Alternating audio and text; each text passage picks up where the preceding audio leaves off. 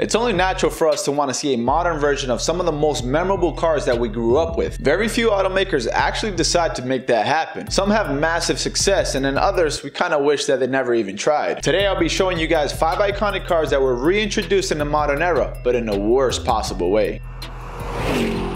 The first car is the Acura NSX. It really saddens me to have to include this car in the list. When it comes to 90s Japanese sports cars, this has always been my favorite out of the bunch. As far as the modern one goes, well, let's put it like this. It has to be one of the biggest automotive failures in recent times. It was built and designed to revive our loves for one of the most iconic Japanese cars of all time, but it didn't work out too well. Sales weren't too bad when it was first released in 2017, selling 581 units in the US, which honestly isn't too bad for a supercar. But then 2018 came along and sales plummeted with only 170 units being sold, including only 5 sold in the month of April. And don't let the sales numbers convince you. How many times have you actually seen a modern Acura NSX out in the wild when you're commuting somewhere or even at your local cars and coffee event? Heck, I haven't even seen any of the big automotive YouTubers show any interest in it, and they typically do every time there's a hot new supercar that's released. The real reason to why the Acura NSX flop can sometimes be seen as a mysterious thing. Performance wise, it's definitely very competitive competitive compared to some of the most expensive supercars out there.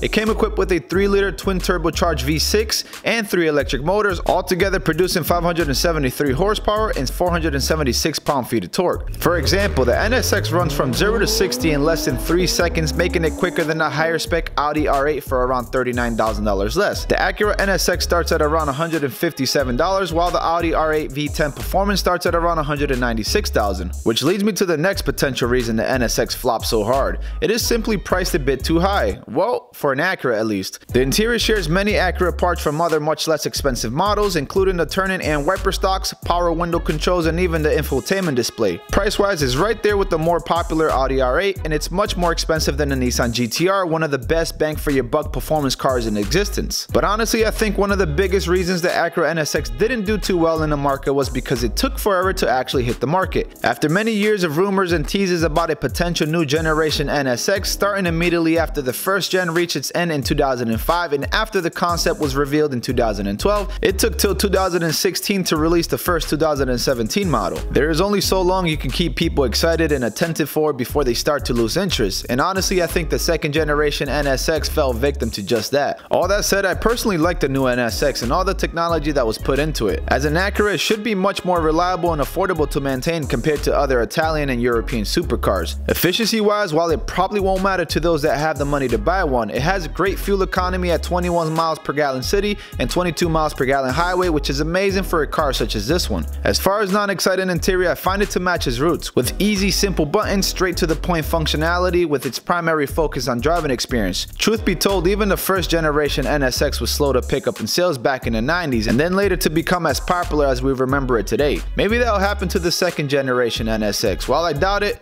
you never know. The next car on the list is a Mitsubishi Eclipse Cross. Yes, another Japanese car legend has failed to make a proper return in the modern era and in the worst possible way. It was rebirthed as a crossover. To be fair, the Mitsubishi did attempt to differentiate the crossover by not just calling it the Eclipse, but rather calling it the Eclipse Cross. But why? The crossover shares absolutely no characteristics or DNA to what we remember the 90s Eclipse being. And by the 90s Eclipse, I'm primarily referring to the more memorable models like the Eclipse GSX and even the GST. The bottom trims were weren't really much of an interest to car enthusiasts and tuners. Some of you may have watched my video where I pretty much ripped the Eclipse apart with more than half of the comment section telling me how wrong I was because of the GST and GSX. Here's the thing, I never once mentioned or badmouthed those two performance models and I would be a fool to do so since the GSX and GST were performance bargains at the time with huge tuning potential. Truth be told, as a kid the Eclipse GSX was among one of the cars on my bucket list. Anyways, that said, let's talk about the only Eclipse that is still produced today, sadly. It might sell well overall because let's be honest, crossovers is what's hot right now, but for car enthusiasts, it's a massive slap in the face, especially by rocking the iconic name. There is a passage on Mitsubishi's website that says the Eclipse spirit still lives on, and goes on to compare the GSX and GST models to the Eclipse Cross. Well, let's take a look. The Eclipse Cross comes with an available all-wheel drive system and turbocharged engine. Hmm, just like the GSX from the 90s, right? Well, that's where the similarities end. The measly 1.5 liter turbocharged engine the Eclipse Cross comes equipped with on all trims produces produces only 152 horsepower and 184 pound-feet of torque. Well, how about the following stat? The Eclipse Cross does 0 to 60 in 8.6 seconds. It's quite clear that Mitsubishi chose to target a completely different demographic and shove the OG fans that really appreciated everything about the 90s Eclipse had to offer to the side. There was so much hype behind the Eclipse, especially because it was featured on the Fast and the Furious film. The 1995 to 1999 model year was arguably the most popular for modifying, very memorable. But then the models from year 2000 and up was the beginning of the end for the Eclipse. There was no turbo or all-wheel drive version offered, just a naturally aspirated V6 power in the front wheels, which created zero excitement for car enthusiasts. And then years later, Mitsubishi decides to dagger the iconic nameplate with the Eclipse Cross. Third car is the Pontiac GTO. This is a car many may not even recall that existed from 2004 to 2006. 30 years after the retirement of the original, GM tried to pull a fast one with the modern GTO, literally. No time nor effort was put into what once was a legendary muscle car of the 60s and 70s. Instead, Pontiac decided to rebadge an already existing and aging car known in Australia as a Holden Monaro. Here's the thing, rebadging or badge engineering as some call it is not necessarily a bad thing and can sometimes actually help certain markets receive cars they normally wouldn't receive. But don't rebadge a car that has a body style that has already been around for years. Rebadge at the beginning of a body style cycle, not towards the end of it. The 5th generation Pontiac GTO, which is the one I'm referring to in this video, failed to sell well in its first year in 2004 and I really do believe its outdated exterior design had something to deal with it. It was truly its downfall in many people's eyes. Nothing about it resembled a muscle car and it just didn't look exciting at all. After the first year of disappointing sales, Pontiac attempted to make it look more aggressive by adding two scoops to the hood and split rear exhaust. The power plant it eventually carried was actually very impressive and many that had a chance to drive the GTO praised its performance. After year 1 it carried a 6 liter LS2 engine that produced 400 horsepower and 400 pound-feet of torque along with a 6-speed manual. While it was a pretty heavy car, it still managed to run from 0 to 60 in just 4.7 seconds, which was very impressive at the time. The GTO was a perfect example of judging a book by its cover, which seems like many chose to do. While it didn't look all that good, the straight line performance you got was actually quite competitive. Some say that the model GTO would have sold much better if it had used a different nameplate instead of trying to latch onto a very iconic GTO nameplate. And that we will never know. The GTO was Pontiac's last muscle car ever produced just after the 2002 Firebird, and it might have just been part of the reason Pontiac as a brand eventually died. Fourth car on the list is a GR Supra, also known as the Supra Mark V. This has to be the most controversial car in the modern era. Some praise it and can't wait for its official release, and others heavily despise it and choose to burn down the internet forums and social media platforms with nothing but hate comments. The FT1 concept brought excitement and anticipation to the car community once it was unveiled in January of 2014. The anticipation was felt much like it's felt on Christmas Eve, and then finally after years of closed curtains, Toyota threw a massive bombshell at all of us. Some saw it as an okay and acceptable thing because of the circumstances and others went into outrage. Toyota decided to partner with BMW for their new Supra by using the platform of the new BMW Z4. I personally didn't have an issue with this move for one because I'm a BMW fan,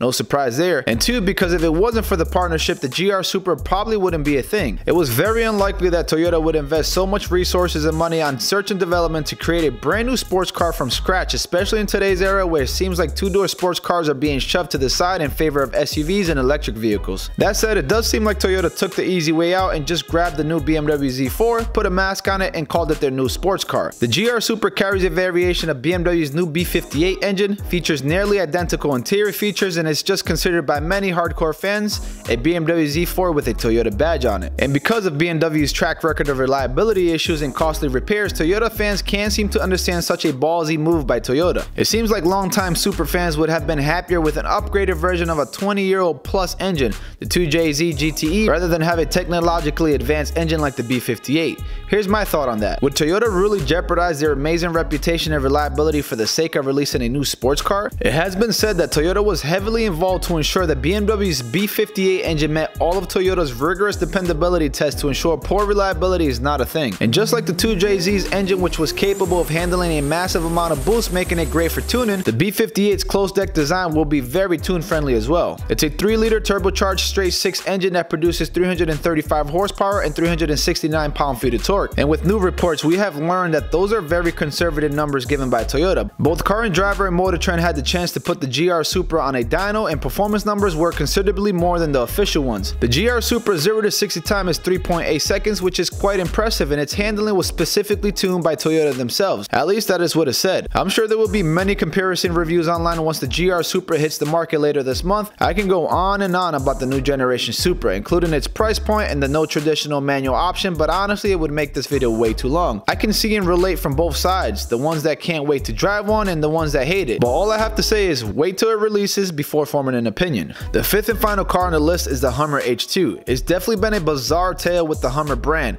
It started off with what seems like massive success and then shortly after led to death in what appeared to be in a blink of an eye. The Hummer was first introduced as a military vehicle by the name of Humvee. Both names somewhat overlap each other but Hummer was more known as the version available to civilians while the Humvee refers to the military ones. As a military truck it made perfect sense since its main purpose was primarily for personnel and light cargo transport behind front lines. It was rugged, massive, and built for off-road. The H1 was exciting at first and was made popular and possible by the one and only Arnold Schwarzenegger. But as the years went by, focus on climate change, gas prices, and hybrid powered vehicles started to become a serious interest. And that leads us to the Hummer H2, which was released not too long after the tragic 9-11 event. Those that chose to drive a Hummer H2 were commonly seen as non-patriotic because of its massive thirst for fuel. Earlier models came equipped with a massive 6-liter V8 engine while the later models came equipped with a 6.2-liter V8. The H2 was uncomfortably huge, very militaristic, and didn't really do anything particularly well. It didn't have any real purpose. The H2 was for those that really wanted to make a statement and seek attention, but most of the attention H2 drivers were receiving was negative, especially when 2008 rolled around and gas prices doubled. Sales plummeted and the hate became so real that a Hummer dealership was torched in Southern California. Arnold, being governor at the time, was under pressure and ultimately decided to sell his fleet of Hummers in September of 2006 for a reported $950,000. The Hummer H2 was just released at the wrong time and sent all the wrong signals which ultimately resulted in the brand's demise. Oh, and let's not forget, it was painfully slow, 0 to 60 in 10.7 seconds. Interesting, huh? Now I want to know what you guys think. Was I right for including these 5 cars on the list, or was I wrong? Let me know in the comment section below. I really do hope you guys enjoyed the video, and if you did, make sure and like it, and if you want to see more, make sure to subscribe with notifications on, that way you don't miss out on the next video. As always, thanks for watching. Till next time.